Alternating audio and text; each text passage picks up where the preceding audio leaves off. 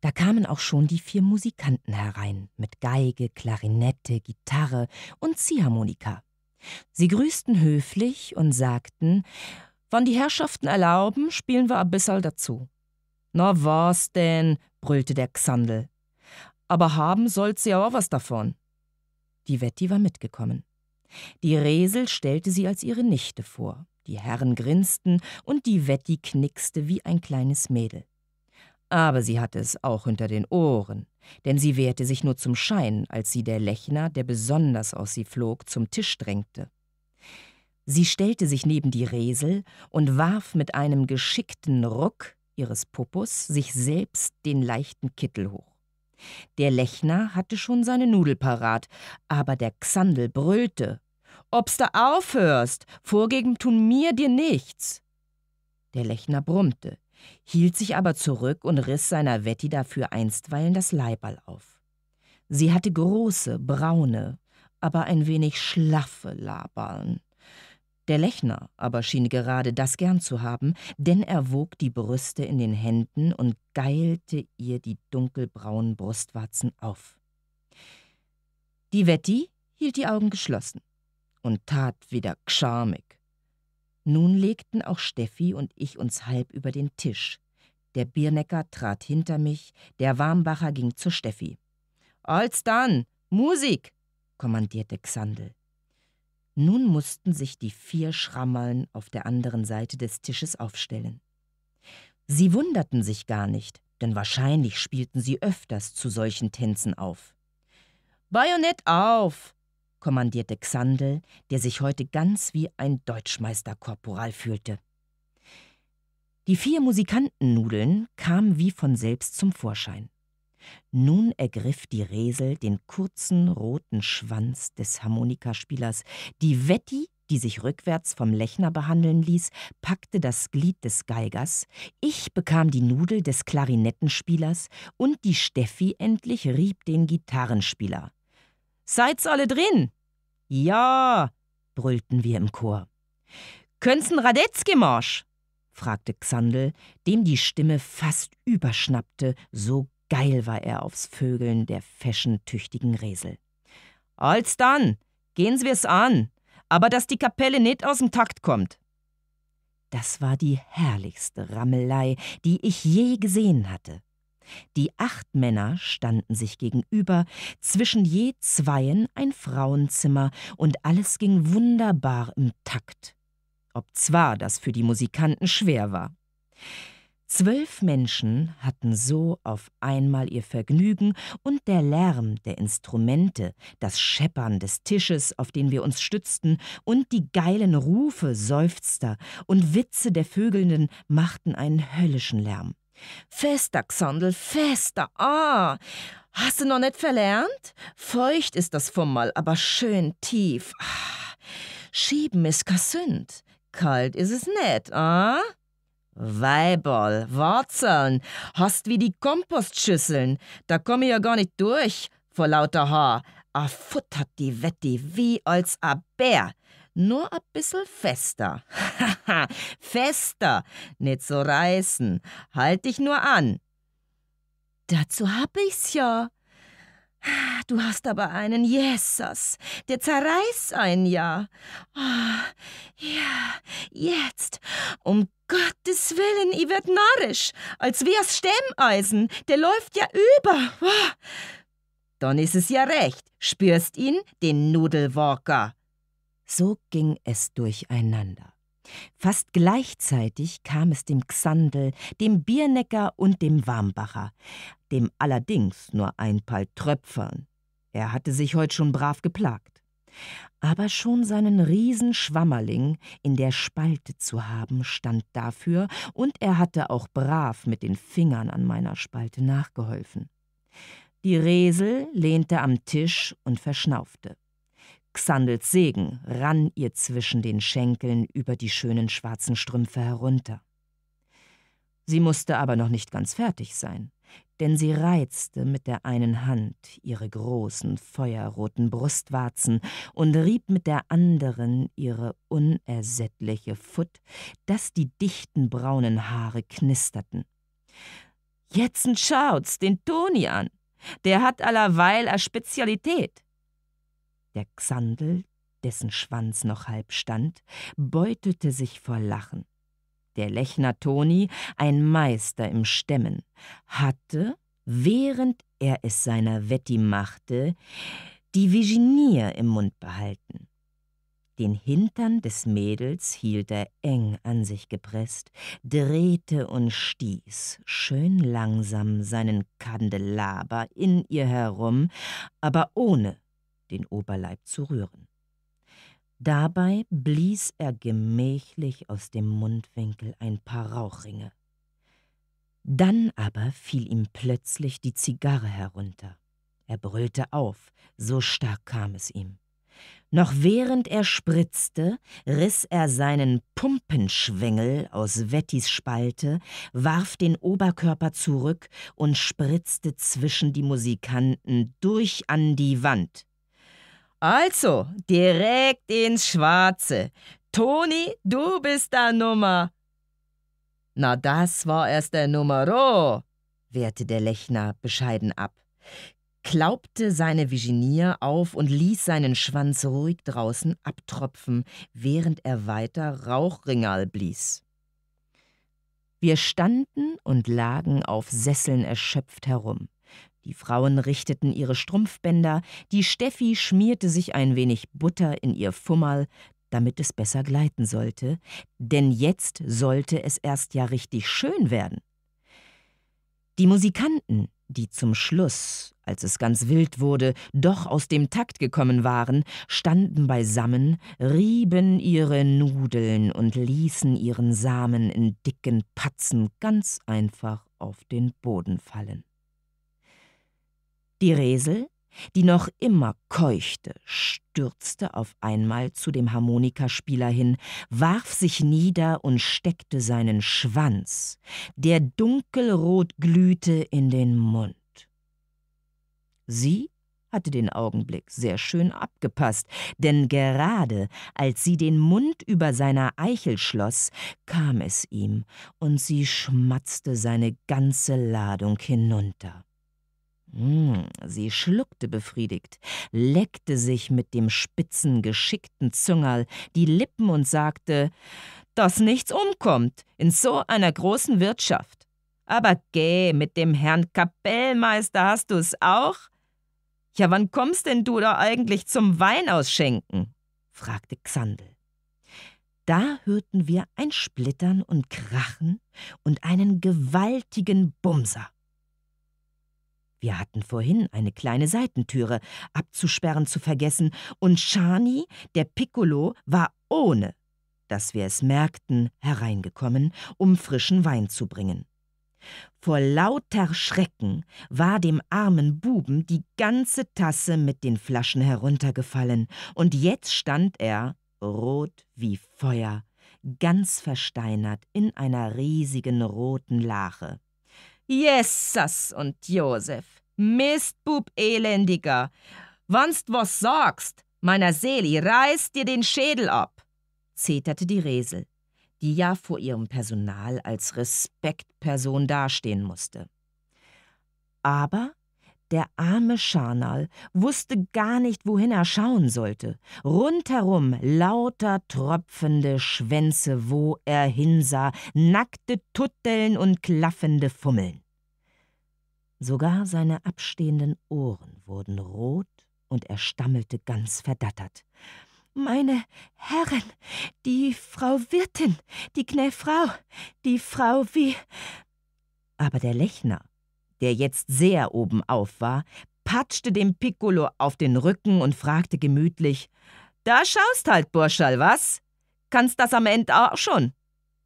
Der Bub wurde noch röter und weinte fast, aber er musste ihnen erzählen, wie er den Schankburschen und das eine Küchenmädel dabei erwischt und dafür ein paar fürchterliche Ohrfeigen bekommen habe.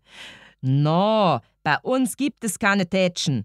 Brauchst sie nicht fürchten darfst sogar mitspielen, sagte Xandl. Möcht's gern der Hauswirt werden? Der Bub stierte ganz blöd. No, ob du deine Chefin, die fesche Frau Wirtin, einmal pudern möchtst. Die Resel kreischte ganz entrüstet und schimpfte. Seid's narrisch! Überhaupt für sowas bin ich nicht da, und da hat er Zeit nach der Firmung. Aber dabei musste sie das Lachen verbeißen und drehte ihren geilen Hintern und hatte die Hand unterm Rock. Der Warmbacher sagte, aber Resel, Amor ist Kamal, und der Bub soll auch wissen, dass heute Sonntag ist. Die Resel kicherte noch immer. Aber die Männer rissen ihr ihre Schürze, das leichte Kittal und das Hemd herunter. Sowas hab ich selten gesehen. Die Resel war vielleicht ein Trampel, aber ein Fäscher. Sehr groß war sie, ganz weiß am Körper, und mir, ihrem riesigen Hintern und den ungeheuren Brüsten, sah sie aus wie eine Riesenfigur auf einem Denkmal. Die Wetti war derweil bei dem Piccolo niedergekniet und zog seine kleine Nudel heraus, die aber einstweilen noch ganz schlaff war. Der Bub hatte Angst. Die Steffi half ihm und kitzelte dem Buben die Hoden, während die Wetti seine Eichel in den Mund nahm. Die Resel war schon ungeduldig, aber endlich stand der Schwanz des kleinen Kellners. Er war nicht sehr lang, aber gut zu brauchen. Bloß traute sich der Bub mit seinem kleinen, steifen Stemmeisen nicht. Xandl hatte eine Glanzidee. Sie ist ihm ja zu hoch, seine Frau Chefin. Da langt er nicht nauf, der Schani. Und er holte ein Fußbankerl, stellte es hinter der Resel, ihrem Rücken auf, packte Schani am Kragen und hob ihn mit einem Ruck hinauf. So, jetzt machst deine Kellermeisterprüfung. Die Resel, der das Ganze einen Riesenspaß machte, griff zwischen ihren Mordsschenkeln nach dem Glied des kleinen Fickers und führte ihn gutmütig zum Kellereingang. Da aber packte es den Buben. Er stieß wie ein großer, nur konnte er den riesigen Hintern der gnädigen Frau kaum umspannen. Mach an, Dana, er, der erstickt uns ja, sagte der Biernecker. Er griff eine Serviette und fächelte dem vögelnden Piccolo Luft zu. Die Resel kicherte, wimmerte und miaute. Er versteht's schon. Oh, wie gut, so was Junges ist ja nicht schlecht. A Eichel hat er, wie eine Haselnuss. Er lernt's schon noch. Schön reinspritzern, Schonnerl, nix daneben. Du bist ja sonst ganz gescheit. Oh, wie er umweckelt. Oh, pass auf, dass er nicht stecken bleibt. Jetzt kommt's ihm jetzt. Olls in die Fummel. Schani, aus! Dann klapperte sie mit den Zähnen und war fertig. Xandel hob den Buben, der ganz verschwitzt war, und taumelte wieder herunter. Brav warst. Wirst noch ein guter Kellermeister. Dann bekam Scharnal noch einen Gulden fürs Maulhalten und schlich ganz erschöpft hinaus. Wir aber machten uns daran, für die Schluss- und Ehrennummer die engste Futt zu suchen. Dazu mussten wir Frauen uns nach rückwärts über den Tisch legen und der Biernecker steckte jeder schön langsam eine Salamiwurst in die Spalte, die fast so dick war wie ein Kinderarm.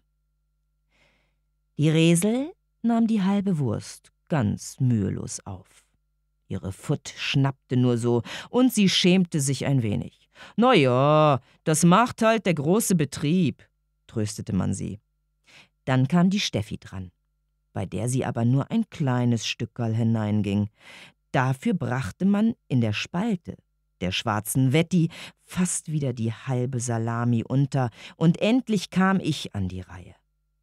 Als sie den Zipfel der Wurst mir hineindrehten, war mir das erst angenehm, aber plötzlich tat es mir weh. Ich drückte die Beine zusammen, dass die Wurst ein ganzes Stück weit wegsprang. Tauglich, sagten die Herren. Der Xandel wurde dazu ausersehen, es mir zu machen, damit, wie er sagte, ich nicht eifersüchtig werden möchte. Der Biernecker und der Warmbacher fassten mich unter die Achseln und hoben mich hoch, während mir der Xandel den Rock bis zum Bauch hinaufschlug und mir von unten sein Glied hineinsteckte. Dann schloss ich die Beine um seinen großen Hintern, und die zwei ließen mich so weit nach rückwärts sinken, dass ich nah über dem Boden hing. Die anderen stellten sich herum und sahen zu. Die Frauen mit gespreizten Beinen. Und von hinten kamen zur Wetti der Klarinettenbläser, zur Steffi der Harmonikaspieler und zu der unermüdlichen Resel der Geiger. Die Schwänze wurden untergebracht, und nun hatten wir wieder vier rammelnde Paare. Halt! rief da der Lechner Toni. Auf mi habt's ihr ganz vergessen. Da gib her, die Gitarre ist ja auch a Weib. Und er nahm die große Kontragitarre mit den zwei Hälsen, stellte sie auf einen Sessel und sich mit gespreizten Beinen davor. Dann hielt er sich an den beiden Hälsen des Instrumentes fest und steckte seinen Schwanz in das Schallloch der Gitarre zwischen den Saiten durch. Dass du ja kein Kind machst, Toni, das war ein Mandolin, das könnten wir nicht brauchen. Dann begannen die drei Paare zu ficken, und der Birnecker und der Wambacher schwenkten mich langsam hin und her, immer zum Xandel hin, dessen Glied mir dabei von selbst immer in der Ritze hin und her rutschte. Xandel stand mit gespreizten Beinen, ließ es sich schön kommen und brauchte gar nichts zu machen. Der Biernecker und der Warmbacher sangen dazu. Ons zwar die Pepel kommt, ons zwar das Fummel brummt, ons zwei Spritzerei, ons zwei ist nix dabei. Damit die zwei Herren nicht leer ausgehen sollten, hatte ich rechtzeitig ihre Nudeln herausgenommen und zog sie gegeneinander, so dass die zwei Eicheln gerade über meinem Mund sich berührten. Aber nicht zusammenstoßen. Mir sahen ja keine warmen, mahnte der Biernecker. Ich rieb fleißig, und ließ mich schwenken, und gerade als der Xandel seinen warmen Brunnen in mich spritzte, tropfte es auch von oben in doppelter Portion in meinen Mund. Dann sahen wir alle dem Lechner zu, wie er die Gitarre vögelte. Schrumm, schrumm, a bissel hart geht halt, die zwickt mir ihn ja ab. Bling, bling, galt ja, das hast noch nicht der erlebt. Aber a schönes, großes Loch hat's halt.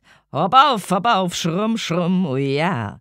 No als dann, so geht's auch. Richtig spritzte der Tuni in die Gitarre hinein. Dann gab der Xandel der Feschenresel ein Hunderter. Das war ein Vielfaches der Zeche, und es blieb noch sehr viel für Trinkgelder übrig. Die Wetti bekam einen Zwanziger, den ihr der Lechner zwischen die Tutteln steckte. Als er dort wieder herausfiel, steckte ihn der Lechner zusammengefaltet in die Feige der Wetti und sagte: So, da bleibt er aber picken. Dem Gitarrenspieler gab Xandl noch extra ein Hunderter als Alimente für die Klapfen. Auf der Heimfahrt saßen wir wieder Bischgodal. Der Fiaker blinzelte zu mir, aber ich machte mich nichts wissen. Wir waren alle todmüde. Ich saß zwischen dem Lechner und dem Warmbacher. Der Warmbacher schlief. Der Lechner wollte mich unter der Wagendecke ein wenig filzen, aber er bekam eine über die Hand. Ich war ehrlich müd. Dafür ging es im zweiten Wagen hinten lustig zu. Dort saß Xandl mit dem Birnecker und der Steffi. Die Gassen waren schon hübsch dunkel, und als ich einmal zurücksah, sah ich die Steffi undeutlich auf und abhopsen. Wahrscheinlich hatte sie wieder einen Laternenpfahl drin und riskierte auf der Heimfahrt noch eine kleine Reiterei. Beim Einschlafen musste ich noch immer an die fesche Resel denken. Man kann neben Heurigem auch noch was anderes ausschenken und sich ganz wohl dabei fühlen. Sicher stammt die Resel, so wie ich, von ganz kleinen Leuten und heute war sie die viel umworbene, angesehene, reiche Hauswirtin und hatte die feinsten Leute zu Kunden. Wenn man's geschickt macht, darf einem keiner Hur sagen. Aber sie verstand ihr Geschäft und einen Witz, und wenn man das kann, ist man schon wer. Ich hatte Respekt vor der Resel und hätte auch gern so einen heurigen Schank gehabt.